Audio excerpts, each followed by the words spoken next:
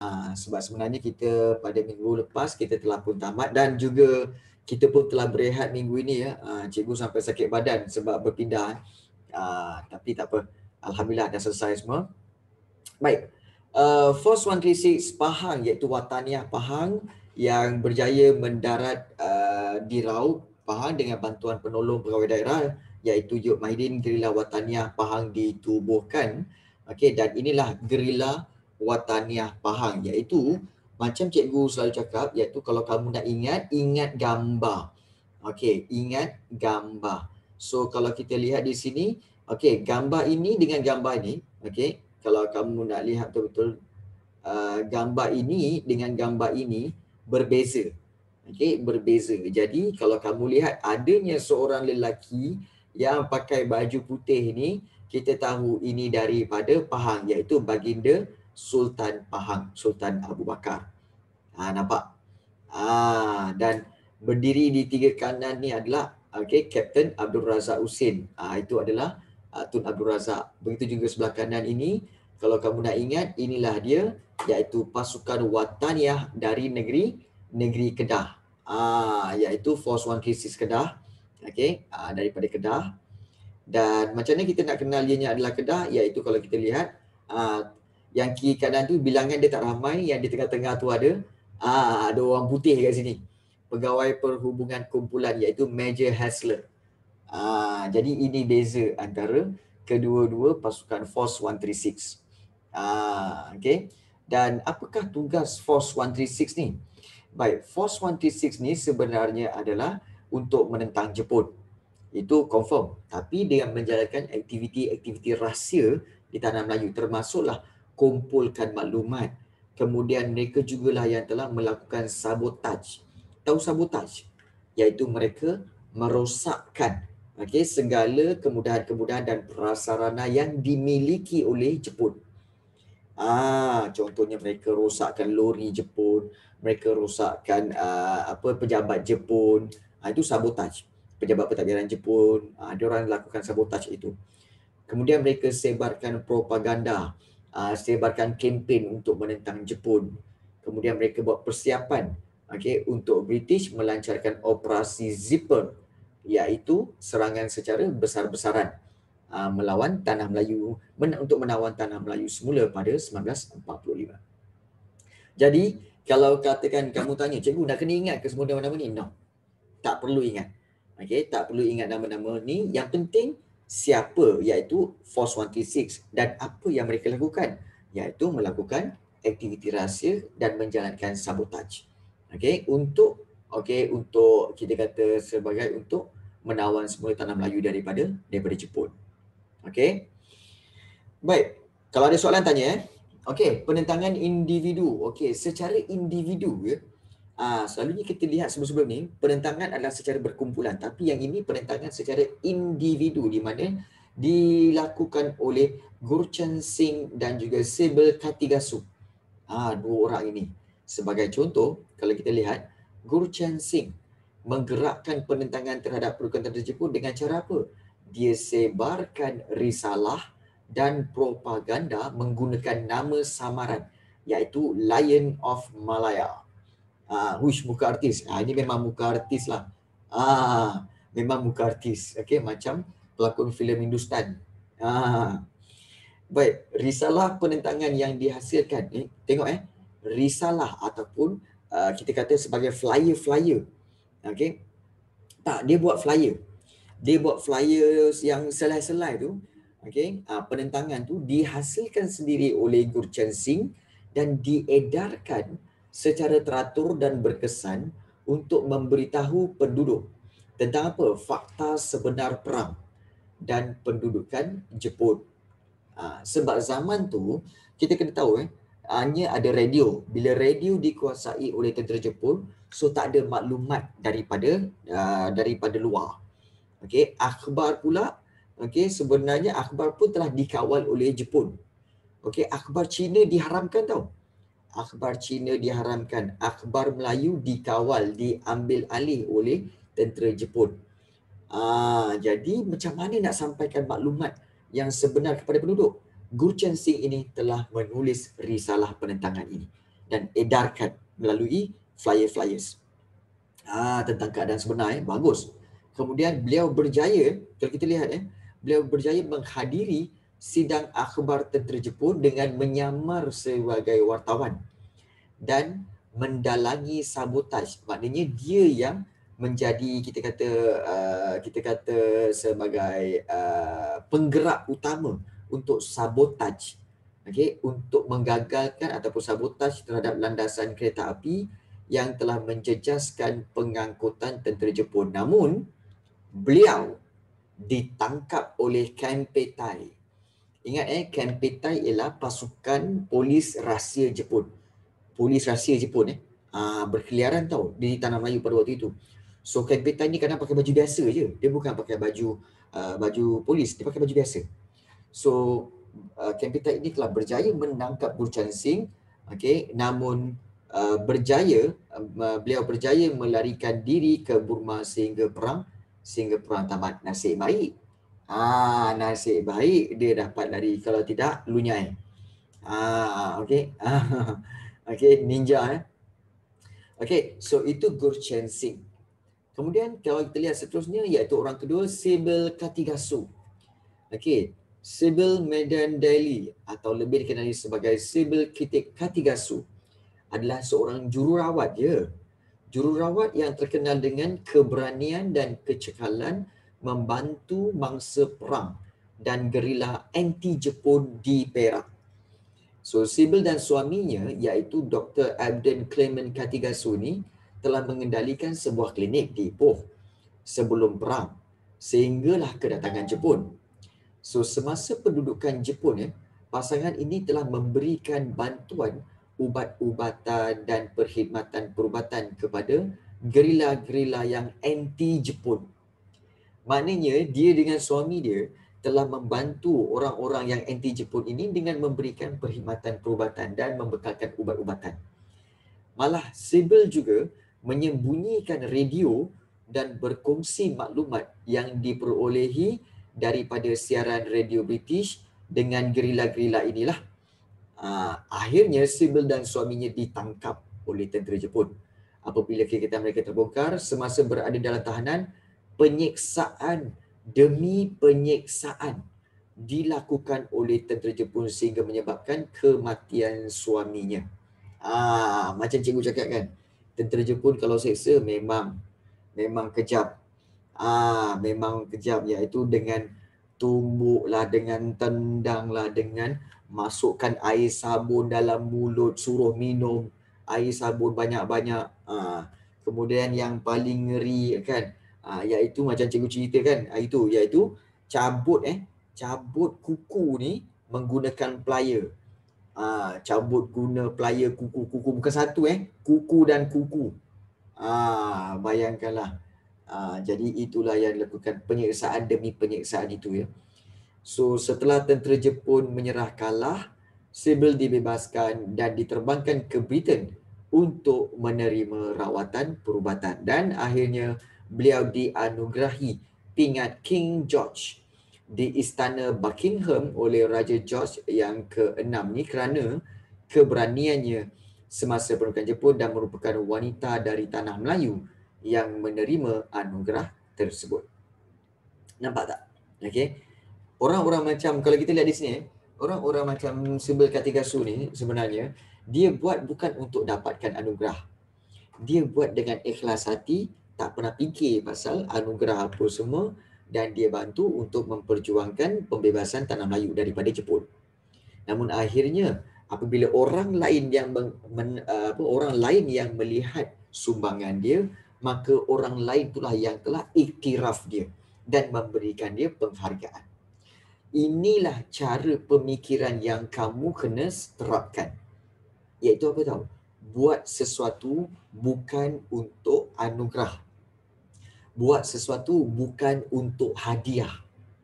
Buat sesuatu kerana ikhlas daripada hati nak dapatkan okay, sesuatu ataupun nak dapatkan matlamat tercapai. So kalau orang lain berikan kamu hadiah kerana kamu telah melakukan kejayaan itu, itu bonus. Ah, ini silap kita. Selalunya kita apa tahu? Kita ni selalunya berfikir tentang apa? Tentang oh aku buat ni nanti orang akan nampak dan orang akan hargai aku. Oh orang akan berikan aku macam-macam. Nanti orang tu akan buat macam ni. So aku kena buat macam ni. No. Okay, ingat kita buat bukan untuk untuk dihargai, bukan. Kita buat sebagai tanggung tanggungjawab. Ingat tu. Ah, okay. Dan uh, mungkin ramai yang akan tanya, cikgu kenapa cikgu cakap macam ni, benda-benda macam ni? Okay. Uh, semalam, um, cikgu ada ada tengok uh, satu wawancara berkaitan dengan berkaitan dengan dan cikgu baca artikel berkaitan dengan apa fungsi subjek sejarah. Okey, subjek sejarah dalam pendidikan negara kita. Ramai yang tanya, Okey, ramai yang tanya, ramai yang kata macam kau keliru. Adakah ingat fakta sejarah ini okey boleh digunakan semasa waktu kerja atau boleh digunakan semasa kamu semasa kamu uh, melakukan uh, apa pekerjaan kamu ataupun melakukan apa sahaja perniagaan kamu apa kaitan subjek sejarah sehingga perlu untuk jadikan dia sebagai wajib lulus. Ha, jadi bila cikgu baca artikel tu dan perbincangan tu Okey, rupa-rupanya kita nak supaya apa tahu? Kita nak menerapkan nilai-nilai murni, akhlak. Akhlak tu sebenarnya penting. Jadi kalau kita tengok baca sejarah ni, kita akan tengok oh inilah akhlaknya. Kita kenapa? Ah, tak. Bukan. Sebenarnya bukan semata-mata generasi akan datang akan ingat masa zaman dahulu. Tak, Dan. Sebenarnya kita nak contohi akhlak mereka ni akhlak orang-orang sejarawan dulu yang baik-baik. Akhlak di mana mereka melakukan sesuatu. Kalau kamu tengok contoh macam Sibyl Katigasu ni. Dia buat kerja ni, adakah dia nak fikir keuntungan? Tak. Adakah dia fikir akan dapat kekayaan? Tak. Malah suami dia terkorban. Dia kena keluar duit lagi untuk beli ubat-ubatan. Tapi kenapa dia buat macam tu eh? Kenapa dia buat macam tu? Ah, kerana apa? Kerana ikhlas nak tolong. Ah, ikhlas nak tolong, jujur untuk membantu orang. Ah, dan juga tidak mengharapkan okey, tidak mengharapkan balasan apabila membantu. Ini nilai yang kita nak terapkan kepada para pelajar supaya apa? Para pelajar fikir, oh iyalah kan. Aku ingat ya, macam kau orang kan. Kau orang belajar. Oh, aku belajar rajin-rajin ni supaya mak aku gembira. Jangan buat macam tu. Aku nak belajar rajin-rajin ni supaya bapa aku nanti suka dengan aku. No. Jangan fikir macam tu. Fikir satu je. Aku nak buat, aku nak belajar betul-betul sebab memang aku ni pelajar. Aku ni pelajar. Ah. Ah, kalau aku pelajar, aku kena buat apa? Aku kena belajar. So, berikan yang terbaik. So, belajar dengan baik. Ah, kan? itulah sebenarnya uh, kepentingan belajar sejarah ya. Okey, so Aisyah tanya cikgu kalau budak macam kita buat salah kena pancung kepala juga eh. Zaman dulu okey, budak budak tak budak ditangkap dan ada yang dihantar ke ke apa pembinaan landasan kereta api tu. Kereta api yang apa? Uh, kereta api maut tu. Ah uh, memang ada eh. Baik. Seterusnya itu daripada sudut dua orang tu ya uh, iaitu penentangan secara individu. Uh, uh, ya betul lah tu. Uh. Baik, kemudian gerakan anti uh, Jepun di Sarawak dan Sabah iaitu operasi semut. Uh, ada operasi semut eh. Bukan semut yang buat. Uh, tengok betul-betul. Uh, tengok betul-betul. Operasi semut ni maksudnya ialah operasi peninjauan ataupun operasi survey yang dilakukan oleh unit khas Z Australia sebagai sebahagian daripada kempen tentera bersekutu okey menentang menentang Jepun di Sarawak. Operasi tersebut dilaksanakan oleh Jabatan Peninjauan Perkhidmatan Australia ataupun Australian Services Reconnaissance Department SRD untuk kumpulkan risikan dan melatih orang tempatan melancarkan perang gerila melawan Jepun. Sebab ramai yang tanya, cikgu, uh, apa perang gerila ni apa cikgu? Perang gerila ni sebenarnya adalah peperangan yang dalam bentuk bilangan yang kecil dan serangan secara secara kilat ataupun serangan secara tiba-tiba ambush ya serangan secara ambush. Ah, jadi itu dipanggil perang gerila. Ya, itu dipanggil perang gerila. So pada bulan Mei 1945, anggota SRD mendarat di kawasan tengah dan timur Laut Sarawak untuk mengatur penentangan terhadap tentera Jepun dan membuat persediaan bagi pendaratan pasukan bersekutu dan anggota ini terdiri daripada tentera Australia, British dan New Zealand, rekrut tempatan ataupun dikatakan sebagai uh, tentera-tentera rakyat tempatan ya, dikenali sebagai gerila semut. Antaranya diambil daripada ialah orang Sarawak Sabah kan. Uh, di, diambil daripada orang Kayan, orang Kenya, Kelabit, Murut, orang Iban dari Rajang juga menyertai perjuangan dalam SRD ni. Dan tentu orang-orang ni hebat sebab mereka ni memang tinggal dalam hutan. Of course mereka tahu segala selok-belok hutan tu. Ah kan. Jadi kepakaran uh, gerila semut penting dalam usaha merancang taktikal perang gerila menentang tentera Jepun kerana sebagai penduduk tempatan mereka mengetahui selok-belok bumi Sarawak. Ah ini antara operasi-operasi semut seperti kalau kita lihat operasi semut satu sekitar lembah Bario, semut dua sekitar lembah Sungai Baram, semut tiga uh, seluruh, seluruh lembangan Sungai Rajang dan semut yang keempat iaitu Bintulu dan Mukah. Ah, itu yang di kawasan operasi semut. Ah, tapi bukan pakai semut eh, orang lah. Kalau semut hmm, sampai bila pun tak jalan kan. Ah, okay. Kemudian di Sabah pula kalau kita lihat okey pemberontakan Jesselton. Siapa pula tu Jesselton? Jesselton ni sebenarnya adalah nama tempat yang sekarang ni dikenali sebagai Kota Kinabalu. Ah Jesselton tu ya sekarang ni Kota Kinabalu. So pemberontakan Jesselton maknanya pemberontakan yang berlaku di Kota Kinabalu. Dan pemberontakan Jesselton juga dikenali sebagai pemberontakan Double Tent. Ah iaitu penentangan terhadap penduduk uh, pendudukan tentera Jepun di Sabah yang diketuai oleh Albert Kwok. Dan pada bulan Oktober 1943, kumpulan Albert Kwok yang dikenali sebagai Gerila Kinabalu, ingat ya, uh, dia nama dia Gerila Kinabalu, melancarkan serangan terhadap pejabat pentadbiran, okay, balai polis dan juga kemudahan tentera di Raja Jepun serta membunuh tentera Jepun di Jesselton, Kota Belut, Menggatal dan juga Tuaran. Hebat dia orang ni. Sampai berjaya membunuh tentera Jepun ya. Ah, tetapi eh, tentera Jepun kemudiannya melancarkan serangan balas dengan pantas dan kejam. Perkampungan di pesisiran pantai diserang dan dibom. Ah ini Jepun punya taktik eh. Perkampungan tu tak kira lah orang gerila kena balu ke tak, dia orang bom tak kira lah penduduk tempatan apa semua kan yang tak bersalah pun dibom dan diserang beratus-ratus orang di soal siasat dan diseksa sehingga mati dalam usaha mencari pemimpin dan anggota pemberontak. Ah ini ini kalau kita tengok macam macam macam filem kan. Ah mana ketua kau? Mana ketua kau? Oh ketua kita orang tak ada. Kan? Oh kau tak nak bagi tahu je. Oh okey kita akan seksa je. Ah, jadi kalau ada orang-orang lain kan, oh orang tu kan tak bersalah, orang tu kena seksa pasal kita lah.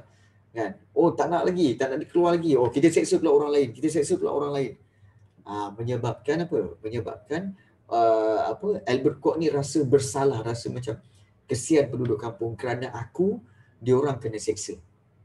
Jadi uh, pada Disember 1943 Albert Kwok pun menyerah diri dengan harapan dia nak apa tahu sebab dia nak menamatkan serangan balas tentera Jepun lah sebenarnya.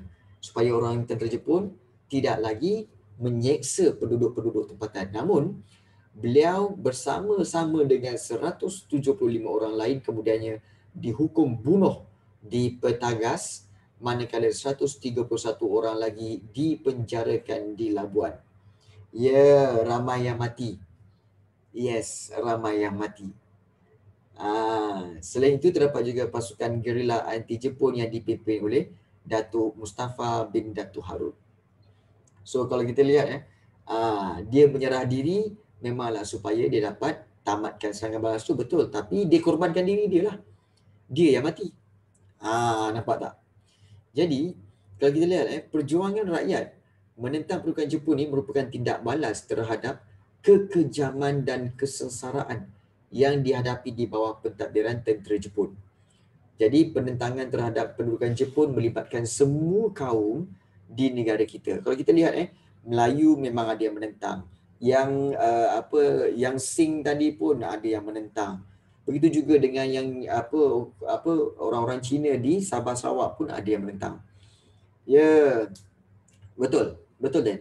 Penentangan mereka sebenarnya tidak strategik dan sebenarnya mereka tidak ada strategi hanya penentangan secara terbuka sahaja. Okey. Jadi kalau kita lihat penentangan terhadap pendudukan Jepun melibatkan semua kaum lah. Namun kepentingan menentang pencerobohan kuasa asing ini membawa kerjasama dalam gerakan anti Jepun yang melewati batas bangsa dan ideologi politik. Ini yang sebenarnya nak ditekankan. Eh. Sebenarnya apabila kita nak menentang nak menentang pencerobohan kuasa asing, contohnya pencerobohan Jepun tu, kita akan kerjasama. Kita akan bekerjasama dalam gerakan anti Jepun yang melewati batas bangsa. Maksudnya apa? Kita akan bergabung sama ada Melayu, Cina, India, kita bergabung untuk menentang pencerobohan tentera Jepun tu. Dan satu lagi, kalau kita lihat menentang okay, dan juga ideologi politik. Ah, maksudnya apa? Tanpa mengira ideologi politik sama ada kamu demokrasi ke, kamu komunis ke, kan? Perasan tak macam tadi PKM, MPAJA kan? Kita bergabung untuk sama-sama menentang menentang Jepun, maknanya menentang penjajahan. Jadi sebab itu baru-baru ni ada polemik dikatakan apa tau? Oh buku sejarah tingkatan empat ni patut ditukar kerana uh, terlalu memberikan uh, keagungan Uh, mengagungkan uh, apa mengagungkan komunis yang telah uh, uh, membantu tentera uh, apa tanah Melayu untuk bebas daripada Jepun. Cikgu rasa pemikiran-pemikiran yang begitu hanyalah pemikiran orang-orang yang takut dengan bayang-bayang sendiri. Kita sebenarnya cerita apa yang berlaku. Itulah yang berlaku. Kan? Memang betul memang berlaku penentangan dan kerjasama antara komunis dan juga okay, orang-orang kita untuk menentang Jepun. So apa salahnya untuk menceritakan keadaan yang sebenar? Kan? Oh, kita dikendaki supaya jangan cerita bahagian komunis. Supaya apa? Supaya uh, ianya tidak uh, menyebarkan ideologi komunis. Come on lah, kita dah matang. Kan? Kita dah matang. Cikgu tanya korang, kita belajar semua ni, korang rasa korang terpengaruh tak dengan ideologi komunis? Korang rasa berminat tak dengan komunis? Bagi tahu cikgu. tak ada pun betul. Kan? Ha, tak ada pun. Ha, tak langsung. Jadi kita nampak lihat bahawa oh zaman tu memang mereka bekerja sama. Itu je lah. Ha, tertidur je dengan komunis. Ha. jadi kenapa dia orang ni? Ai, taklah isu-isu ni kan payah kan. Ha, benda-benda yang macam ni tak payahlah carilah isu lain kan Oh, ah, betul, betul Rafizuddin. Belum pernah lagi orang belajar komunis terus nak jadi komunis, betul? Ah, betul? Kan? Jadi apa nak takut? Kan? Takut bayang-bayang sendiri kan? Ah, macam seolah-olah ah, takut dengan kegelapan di rumah kamu sendiri. Okey, pastinya rumah kamu semua ada sudut-sudut yang gelap. Ish, tak berani yang nak masuk tu. Kan? Gelaplah tempat tu. Kan? Apa yang nak takut? Kan? Jadi on lampu, switch on lampu, dah lah masuk lah. Kan? Lagipun itu masih lagi dalam rumah kamu. Jadi apa nak ditakut kan? jadi uh, jadi jangan takut dengan dengan rumah sendiri. Rumah sendiri pun takut benda lah. Macam tu lah kan. Uh, jangan takut dengan bayang-bayang sendiri. Okay. Baik. Kita teruskan eh. Baik, setakat ni ada soalan ke tidak? Boleh faham ke tak? Ah, nak tanya. Ha, ini kadang-kadang belajar-belajar-belajar, hmm, benda ni cikgu, tak faham ni. Ha, boleh insyaAllah. Ha, okay. Bagus, bagus Nafi Iman. Nafi, si Nurin dah balik asrama lah. Senyap je, Nurin tak masuk pun. Dia orang balik uh, esok cikgu. Maybe oh, maybe dia kemar barang kot. Ataupun dia pergi beli barang ke. Ah, okey okey okey okey. Uh, tapi kelihatan ada seorang pelajar iaitu Hana. Eh, Hana tak masuk asrama eh. Ana tak masuk boarding school kan? Tak. Ah, ah tak. Bunyi sedih je kenapa? Sedih tak masuk sama? Tak, adik saya je sama. Oh ya ke? Okey. Okey. Baik. Kita sambung. Perkembangan gerakan nasionalisme tempatan. Okey. Uh, kita lihat uh, dan pendudukan Jepun. So pendudukan Jepun meninggalkan kesan yang besar lah terhadap kehidupan masyarakat kita. Eh. So kita lihat kesan-kesan dia iaitu antaranya perkembangan semangat anti penjajah. Ingat perkembangan gerakan nasionalisme dan tempatan ni ini dikatakan sebagai kesan. Okey ataupun kita kata kesan kat sini ini dikatakan kesan.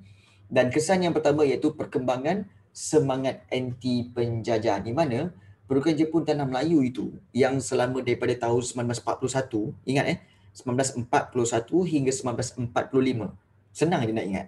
41 hingga 45 okey perlukan Jepun di tanah Melayu. Dan perlukan Jepun ini berlaku ketika kesedaran nasionalisme tu dah mula berkembang sebelum perang dunia kedua lagi.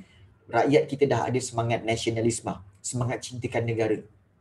Jadi, slogan Asia untuk Asia, lingkungan sekemakmuran Asia Timur Raya yang telah menekankan okey Jepun ini dua-dua slogan ni datang daripada Jepun kan. Kedua-dua slogan ini slogan Jepun. Okey Jepun kata apa? Asia untuk Asia. Lingkungan ini semua adalah kawasan kita sama-sama untuk Asia Timur Raya. So dia menekankan kebebasan negara-negara Asia menentukan kemajuan dan dia nak menyedarkan okay, persaudaraan sejagat. Maknanya persaudaraan semua negara-negara. Semua negara-negara yang dijajah oleh tentera Jepun tu supaya kita bersepakat lah. Uh, bersepakat. Jadi konsep ini adalah sama dengan perjuangan sebahagian daripada golongan nasionalis. Ah, iaitu KMM contohnya Kesatuan Melayu Muda. Sebab itu KMM rasa macam eh kita ni pun samalah. Kita ni pun sebenarnya kita nak cuba menyatu padukan orang Melayu untuk menentang British. Sebab kita ni orang Asia. Datang pula Jepun. Oh Jepun kata Asia untuk Asia. Marilah kita bergabung. Okay, uh, untuk bekerja sama sesama kita. So KMM rasa oh ini adalah Jepun adalah pihak yang patut kita beri kerjasama. Sebab itu KMM bekerjasama dengan Jepun dan berharap Jepun dapat memberikan kemerdekaan kepada tanah Melayu. Okey, dan kejayaan tentera Jepun mengalahkan British ah baru menyedarkan orang tempatan bahawa sebenarnya orang Asia ni juga mampu mengalahkan orang Eropah yang dianggap sebagai kuasa besar. Ah, inilah kesedaran yang terpenting apabila Jepun berjaya halau British sampai ke Singapura tu kan. Habis semua tentera British keluar kan. Jadi orang Melayu kata apa? Ush, rupa-rupanya kita ni orang Asia boleh je kalau nak halau British. Kenapa kita tak buat daripada dulu kan? Ah, nampak? Kesedaran tu tersampai. Kesedaran tu sampai. Ah, jadi perkembangan semangat anti penjajah kat situ timbul.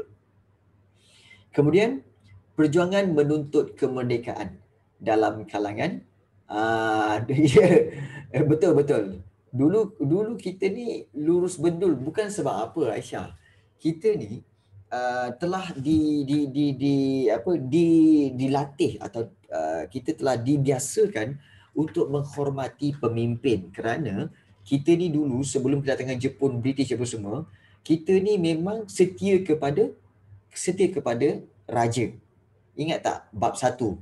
Okey, iaitu salah satunya ialah kesetiaan. Wa'adat. Wa'adat tu apa? Iaitu perjanjian antara pemerintah dan rakyat. Rakyat tak akan menderhaka kepada kepada raja. So konsep itu dibawa sampai kedatangan penjajah. Ah, jadi di situ kita tak fleksibel. Sepatutnya penjajah tu kita tentang lah. Sebab dia orang bukannya sultan.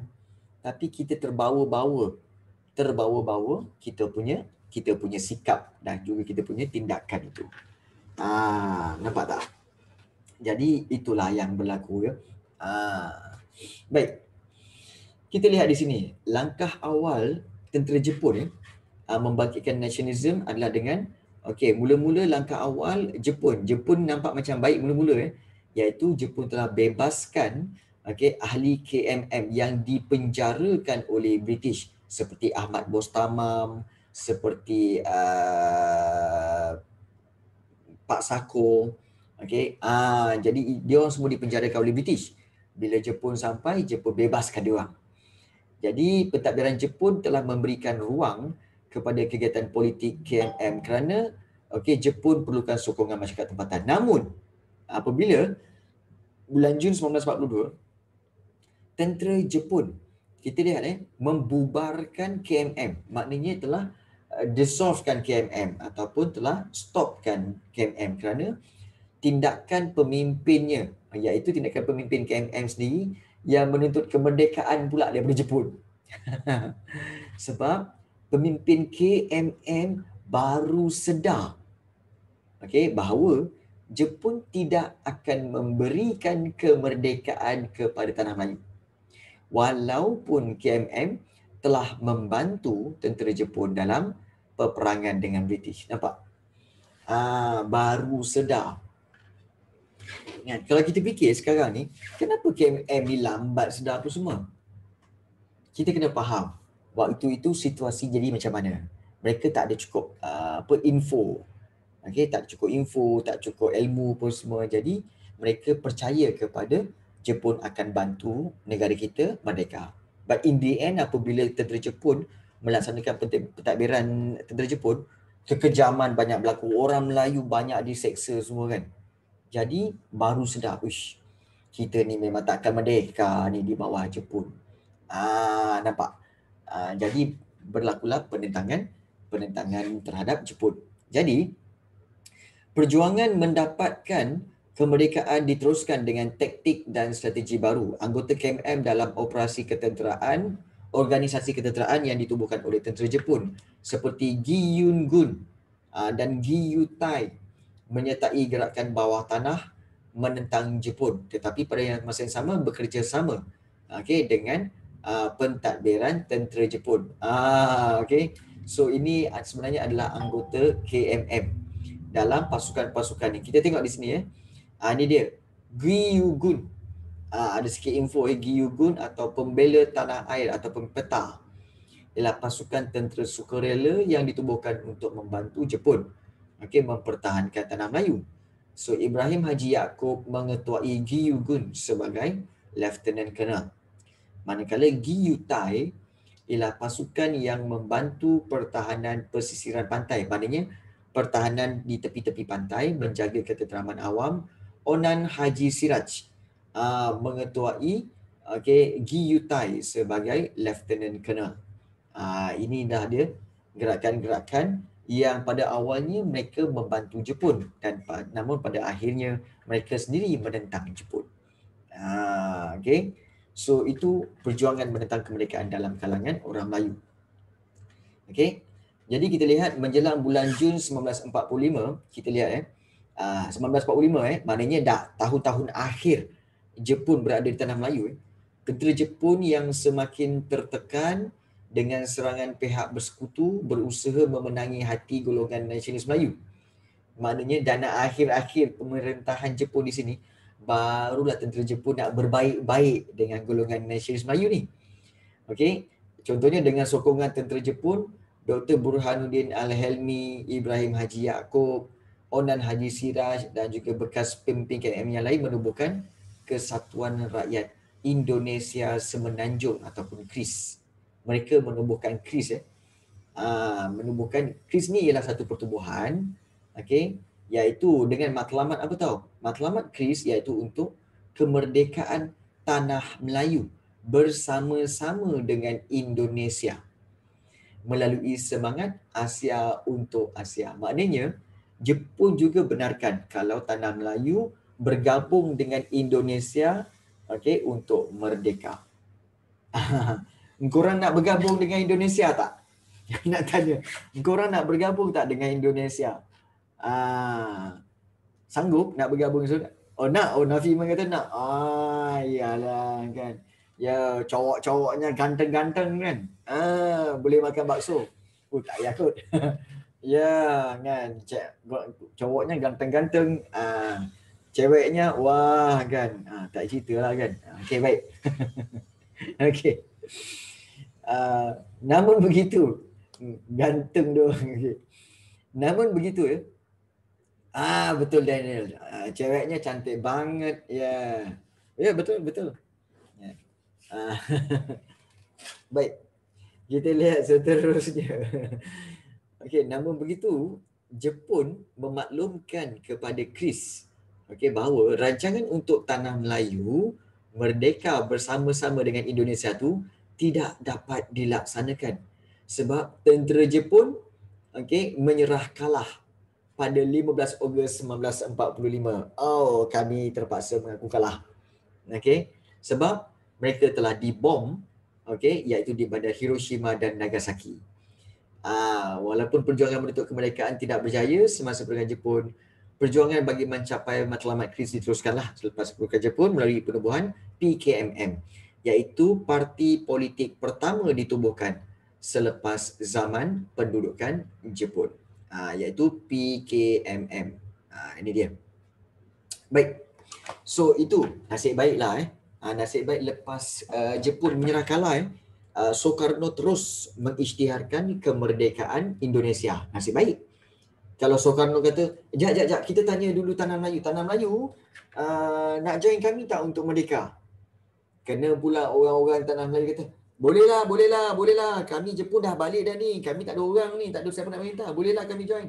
Ya, kalau gitu, apa yang berlaku 63 tahun dahulu, sekarang ni sudah jadi lain kita pun sudah belajar ah belajar yang lain cakapnya pun lain ya kesedaran politik di Sarawak dan Sabah ah sudah jadi lain ya iya pak ya okey kan ah itulah yang berlaku. Nasib baiklah eh. Nah, nasib baik tak bergabung. Okey baik. Kesedaran politik. Ya. Gak bias bahasa Inggeris, ah, gak biasa bahasa Inggeris, enggak biasa, enggak biasa, ya. enggak biasa. Okey, kesedaran politik di Sarawak dan Sabah. Okey, kita lihat ya. Kegiatan penduduk di Sarawak dikawal melalui okey, melalui persatuan yang ditaja oleh tentera Jepun, contohnya persatuan Cina digabungkan menjadi Kakyo Kokokai Amboi. Kan? Dan nama macam apa? Uh, macam nama macam anime Jepun je kan. Kakyo Kokokai.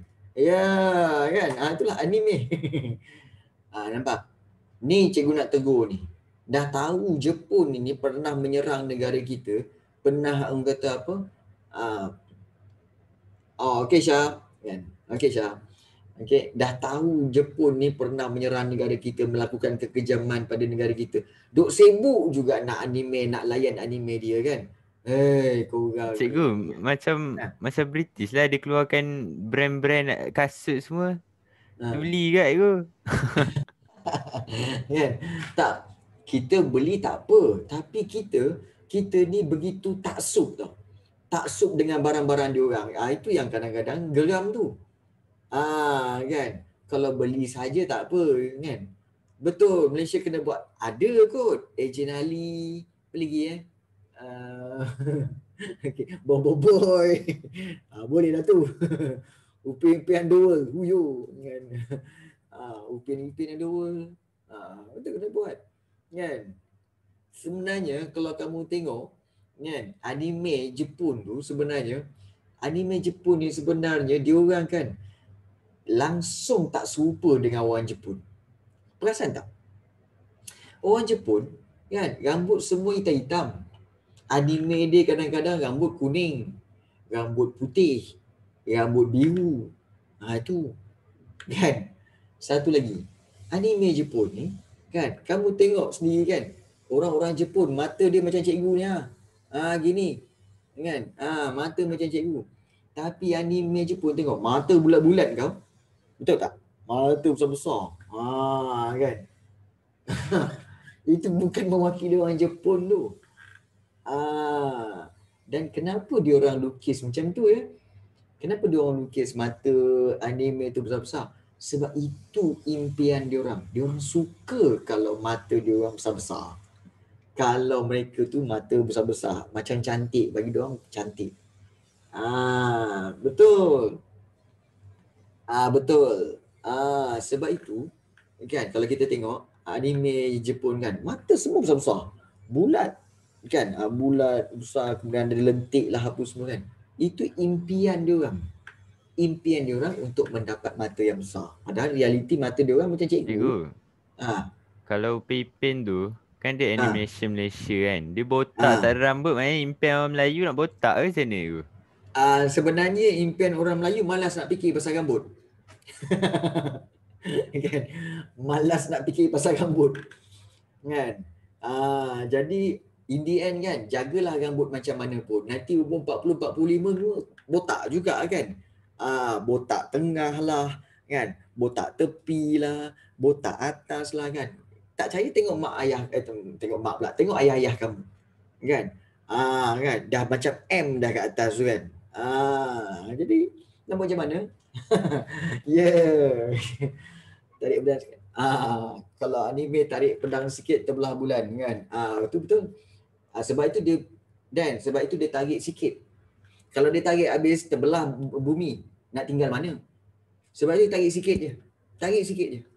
Tarik habis sekarang, habis terbelah bu, apa bumi semua habis. Kan? Ah, yeah, betul. Embrace the botakness. Okey. Baik. Kita lihat di sini ya. Mission Possible. Contohnya, ya. Persatuan Cina digabungkan menjadi Kakyo Kokokai. Berikutan kekurangan pegawai Jepun, orang Melayu dan orang Iban diberikan jawatan dan kuasa yang lebih tinggi sebagai pegawai daerah yang sebelumnya hanya disandang oleh pegawai-pegawai British sahaja. Dan menjawat jawatan tinggi ini turut memberikan kesedaran dan keyakinan kepada pegawai tempatan ya, untuk menjalankan tugas penting. Contohnya kesedaran politik okay, melalui pengalaman semasa pendudukan Jepun ini menjadikan peribumi Sarawak lebih yakin untuk berkerajaan sendiri selepas Perang Dunia Kedua. Contohnya kalau kita lihat ni, pemimpin tempatan uh, di Sabah Sarawak yang dilantik menjadi pegawai daerah semasa pendudukan Jepun ya, seperti Abang Haji Openg di Kuching, Empenin Adam iaitu si Manggang dan juga Satem uh, di Lawas. Kan? Satem eh, bukan Setem. Kan ada yang baca Setem kan? Bukan Stem. Bukan, Satem. Jadi kan, asal nama Stem? Bukan, tak ada orang nama Stem. Satem. Ah, right? Baik. Okey. Ah, pendudukan Jepun okay, menyuntik kesedaran berpolitik dalam kalangan masyarakat setempat di Sabah dan beberapa pertubuhan ditubuhkan selepas pendudukan Jepun seperti Parti Kebangsaan Melayu Labuan oleh Tengku Nordin Abu Bakar, Zakaria Gun berdasarkan idea Harun Aminur Rashid iaitu seorang nasionalis tanah Melayu. Dan di bahagian pantai timur Sabah, Parti Kebangsaan Melayu Tawar ditubuhkan dan dipenguruskan oleh orang kaya-kaya Abu Bakar. Ah, ini Tengku Nordin lah. Ah, Kakyo Kokokai, apa tu? Iaitu Persatuan Cina Seberang Laut, anjuran Jepun yang menggabungkan Persatuan Cina yang merangkumi dialek, daerah dan nama keluarga di bawah satu pertubuhan. Ah, dan pertubuhan ini diasaskan di Kuching serta mempunyai cawangan di bandar utama yang didiami oleh orang Cina seperti di di Sibu. Okey. Um, uh, tu tak ada nama lagi senang ke cikgu. Ah, Kakio Kokokai. Okey, nama Kakio Kokokai itu adalah nama nama yang diberikan oleh Jepun berdasarkan bahasa Jepun. Dia bukan bahasa Cina. Ah, ya, Kakio Kokokai. Ah, right. So itulah yang penting. Baik. Sampai waktunya kita nak cerita keadaan negara kita selepas kekalahan Jepun. Wow. Bagaimana Jepun kalah? Ha, kita nak tengok sampailah part yang interesting sikit. Baik, kita lihat bagaimana Jepun kalah. Amerika Syarikat. Kita tahu Amerika Syarikat dia teknologi dia tinggi. Ah, ha, okay, teknologi ketenteraan dia tinggi menggunakan bom atom dalam serangan terhadap Jepun pada bulan Ogos 1945 dan peristiwa tersebut membawa kekalahan tentera Jepun dan berakhirnya Perang Dunia Kedua. Nampak? Ah, so kalau kita lihat eh pada rentetan ataupun dia punya flow dia cerita dia pada 6 Ogos 1945 ya bom atom yang diberi nama Little Boy ah Little Boy Little Boy eh Little Boy digugurkan ke atas bandar Hiroshima. So ni Little Boy ni. Okey, kalau kita lihat apa jadi kepada Hiroshima selepas digugurkan bom atom, nampak? Ah, langsai, rata, ah, padang jarak, padang terkukur. Ah, inilah dia. Hasil sebutir bom je. Ah, luas, ya. Ah, kemudian ah, diberikan pada 8 Ogos 1945 Kabinet Jepun bermesyuarat untuk memutuskan apa? Ah, sebutir nasi. Kabinet Jepun ni kemudian bermesyuarat dua hari kemudian ni bermesyuarat sama ada nak hentikan peperangan ke tidak. Tapi kabinet Jepun, kabinet Jepun ini, menteri-menteri Jepun pada waktu itu dikuasai oleh general-general tentera tau. General-general tentera kata apa? Tak apa. Kita teruskan peperangan dunia kedua ni. Oh, bila teruskan dia cakap dengan Amerika, kami nak teruskan. Kan? Hmm. Amerika kata apa? Okey, baik, kau nak teruskan. Okey. Next, besoknya 9 Ogos, okey, gugur satu lagi bom iaitu bom atom Fat Man uh, digugurkan ke atas bandar Nagasaki. Yang first Hiroshima, Little Boy. Kemudian yang kedua Fat Man di Nagasaki. Kali ini kita lihat, nah dia punya bom atom tu ya. Yeah, your mom so far America drop on Nagasaki. ya, yeah, betul Daniel. Ah, oh, ada ayat macam tu eh. Oh, inilah punca.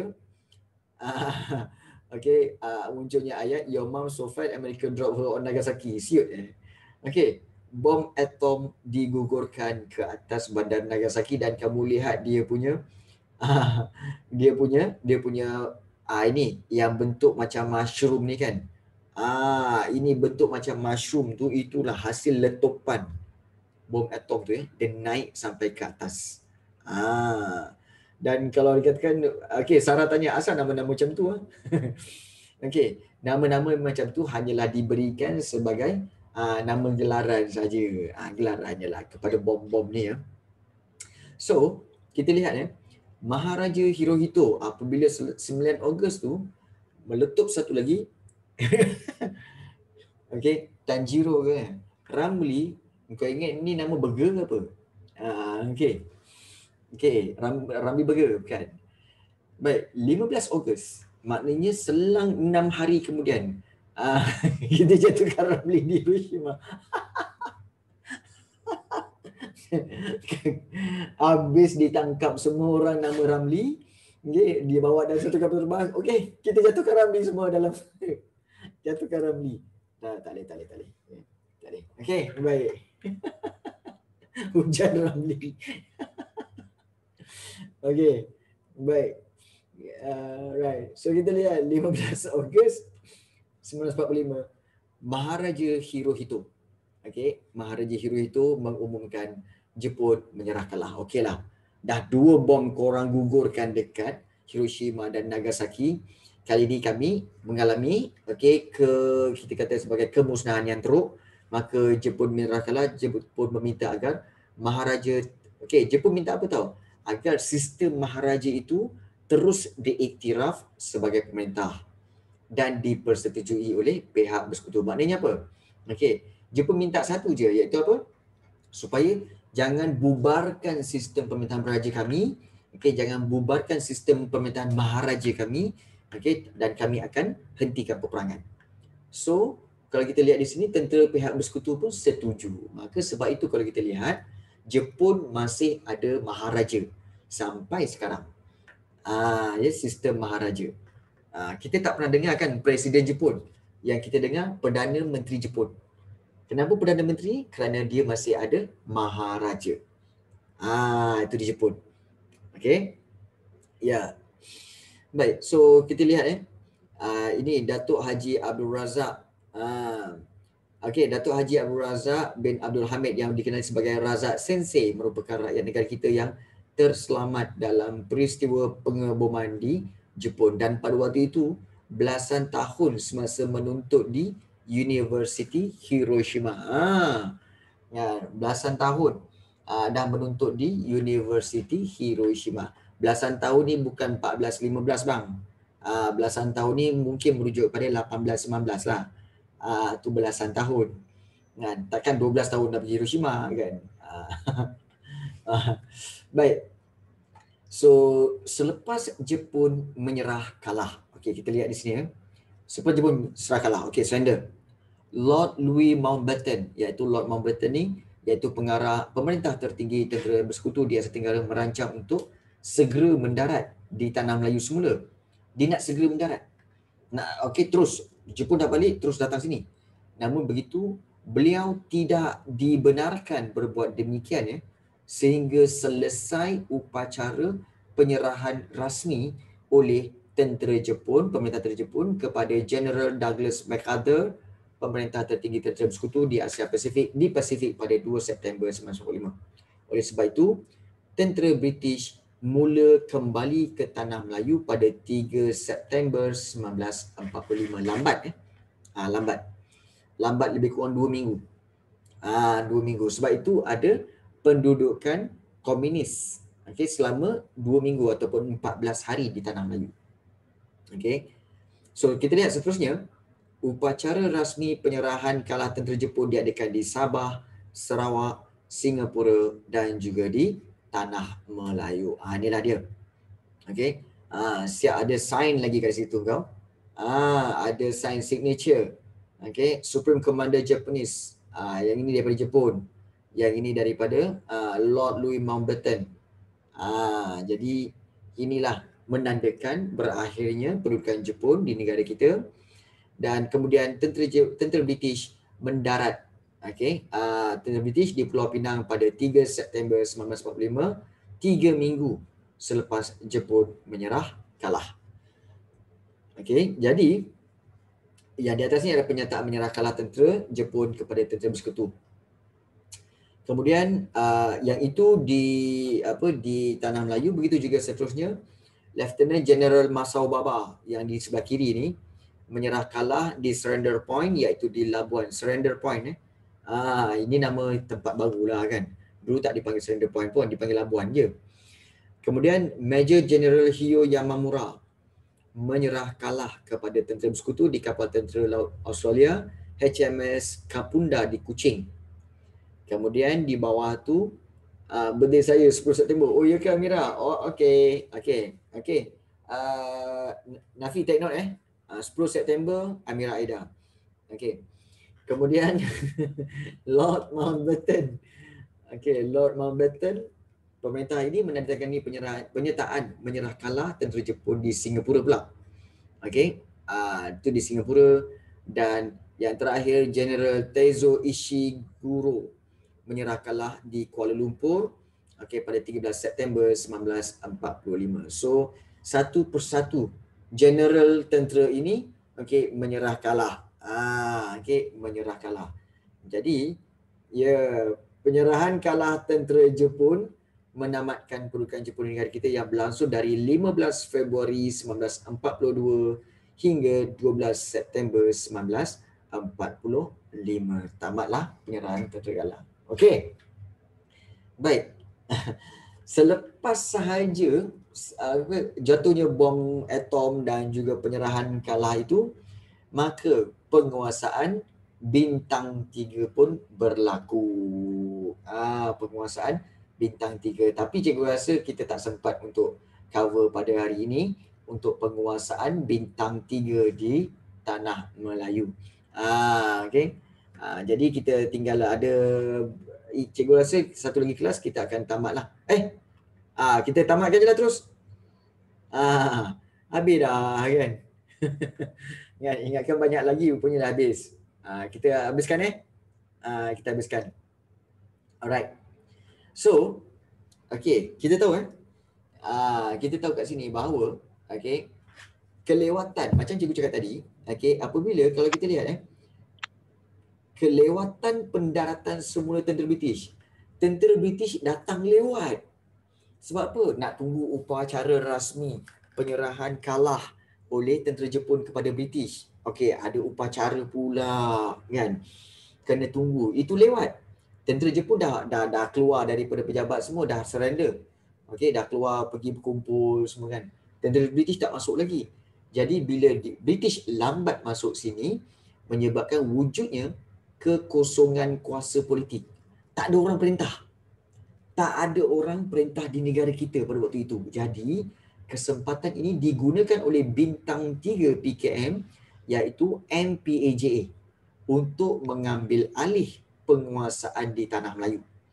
Dan bintang tiga menganggap eh, kekalahan tentera Jepun sebagai lambang keunggulan, kekuatan dan keberanian mereka menentang pendudukan Jepun. Eh?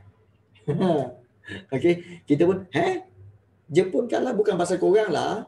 Jepun kalah pasal gugurnya bom atom, bukannya pasal korang. Tapi dia anggap dia. Okey, jadi kalau kita lihat sini, Parti Komunis Melayu melalui bintang tiga telah menguasai bandar, balai polis, pejabat-pejabat pentadbiran kerajaan yang ditinggalkan oleh tentera Jepun. Kosong. Dia orang masuk dalam pejabat-pejabat tu.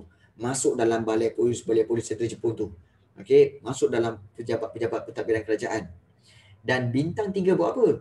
Bintang tiga menjalankan undang-undang sendiri dan menggunakan sebuah mahkamah yang dikendalikan oleh komunis untuk menjatuhkan hukuman mati terhadap sesiapa yang bekerja sama dengan Jepun terutama orang Melayu. Eh, suka-suka hati dia masuk, suka-suka hati dia buat undang-undang sendiri.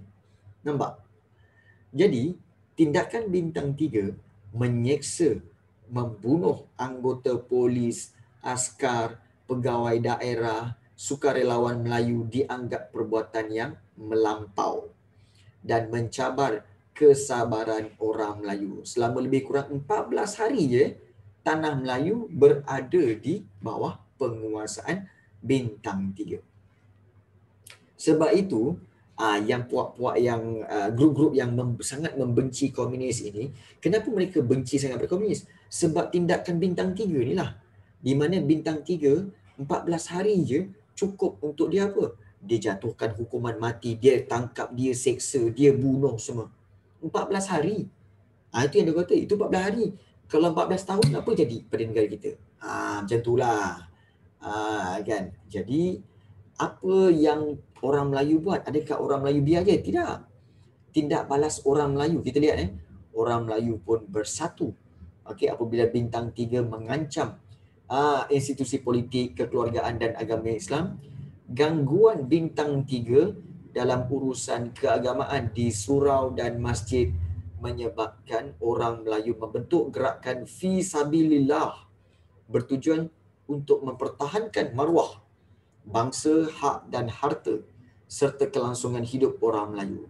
Kepimpinan ulama tempatan ini telah memberikan inspirasi kepada masyarakat Melayu untuk berhadapan dengan kezaliman bintang tiga. Di Johor contohnya, Haji Saleh Abdul Karim atau dikenali sebagai Kiai Saleh mempelopori ataupun mencetuskan penentangan terhadap bintang tiga dengan menubuhkan pasukan tentera selempang merah. Ah ini yang diorang kata selempang merah ni.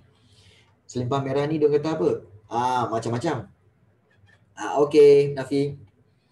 Di Sungai Manik, Perak, Tuan Haji Bakri Haji Muhammad Saman menjadi khalifah parang panjang dalam usaha mempertahankan orang Melayu daripada ancaman bintang tiga. Keadaan ini menyebabkan suasana tidak tak aman.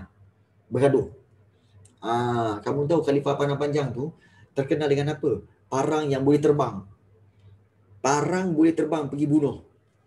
Ah, zaman-zaman ni lah. Ah, jadi itu yang diorang takut lah eh, sebenarnya. Jadi kalau kita lihat di sini ah, banyak berlaku kebangkitan orang Melayu menentang bintang tiga seperti di Johor, okey, ah, di Batu Pahat, ah, di Muar, Negeri Sembilan di Batu Kikir, Parang autopilot eh tak. Dia ada dia punya dia punya dia pakai jun lah jun, jin. Ah dia pakai jin untuk terbang. okey. Ah, salah satu nama tempat iaitu Teluk Intan eh. Ah, Teluk Intan dahulunya dikenali sebagai Teluk Anson dan nama asalnya ialah Teluk Mak Intan namanya ditukar kepada Teluk Anson bersempena dengan nama Archibald Anson uh, pegawai daerah Hili Perak dan namanya ditukar kepada Teluk Intan lah dan Teluk Intan adalah tempat di mana berlakunya ya berlakunya ini Teluk Anson ya berlakunya penentangan orang Melayu terhadap uh, terhadap bintang tiga jadi apabila berlaku penentangan ini okey uh, mencetuskan pergaduhan kaum Ah, terutama sekali antara orang Melayu dengan orang Cina. Sebab most of bintang tiga ni adalah orang-orang daripada orang Cina. okey kaum Cina pada waktu itu. Jadi ini menyebabkan pergaduhan kaum. So kalau kita lihat antara usaha untuk mendamaikannya adalah usaha daripada Datuk On Jaafar di mana Datuk On Jaafar dilantik oleh Sultan Ibrahim sebagai pegawai daerah Batu Pahat dengan tugas utamanya menamatkan kekacauan dan memulihkan keamanan di Batu Pahat. So pada Ogos 1945, Datuk On Jaafar pun mengatur rundingan antara Kiai Saleh dan pemimpin Melayu dengan ketua bintang tiga ah, di Dewan Perniagaan Cina Batu Pahat. Kompromi ataupun uh, tolak ansur Datuk On Jaafar berjaya memujuk berjaya memujuk eh uh, Kiai Saleh untuk membebaskan orang Cina yang ditahan di Parit Raja. Manakala bintang tiga pula menamatkan penguasaan mereka di Balai Polis Batu Pahat. Jadi kedua-dua pihak memberikan kerjasama kepada beliau sebagai pegawai daerah untuk mengembalikan keamanan di Johor. Nasib baik. Kalau tidak dikata dikabarkannya Kiai Saleh ni memang nak mengamuk sebenarnya. Memang nak mengamuk dengan orang-orang dia untuk mengamuk membunuh uh, ramai orang-orang Cina yang menjadi bintang tiga pada waktu itu. Uh.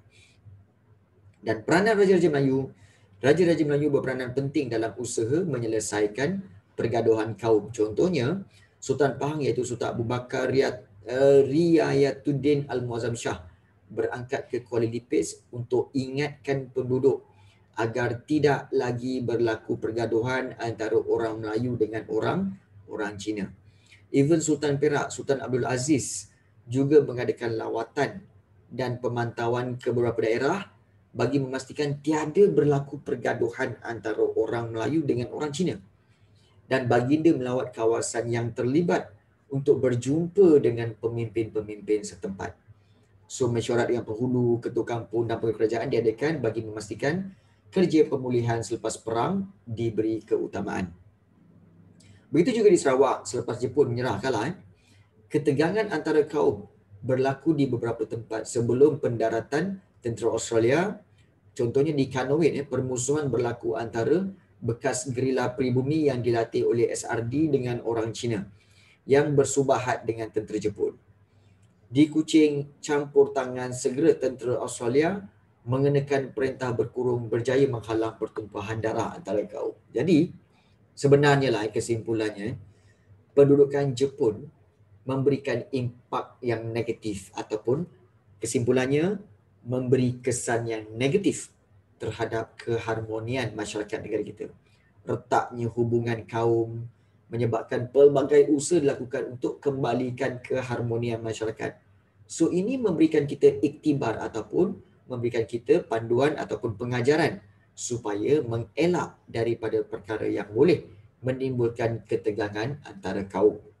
Sebab tindakan ini boleh menjadi ancaman kepada kerukunan hidup bermasyarakat dan kestabilan negara. So, bab ini kesimpulannya konflik dunia okey secara umumnya konflik dunia adalah daripada perang dunia pertama dan perang dunia kedua sebenarnya menimbulkan kesan terhadap kehidupan manusia kesengsaraan dan kemusnahan akibat perang memberikan kita iktibar kita tentang nikmatnya keamanan yang sewajarnya dipertahankan untuk kehidupan yang sejahtera sebagai warga masyarakat dunia kita perlu belajar untuk hidup bersama-sama bagi menjamin keadaan yang aman dan harmoni. Kita kena belajar lah. Eh.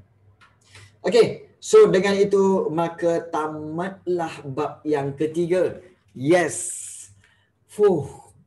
Tamatlah bab yang ketiga. Uh, Alhamdulillah. Okay. Jadi kita dah nampak pelbagai perkara yang berlaku. Okay. Jan, ada sebarang soalan boleh bertanya sekarang? Untuk bertanya silakan kalau nak tanya apa-apa.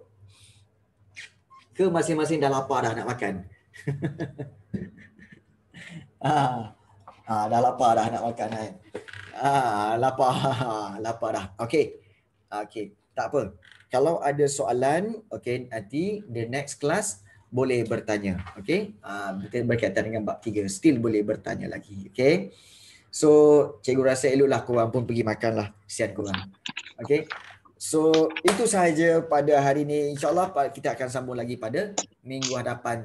Take care guys. Okay. Assalamualaikum dan bye-bye. Okay. Okay Aiman. Amir Aida. Okay. Okay. You're welcome.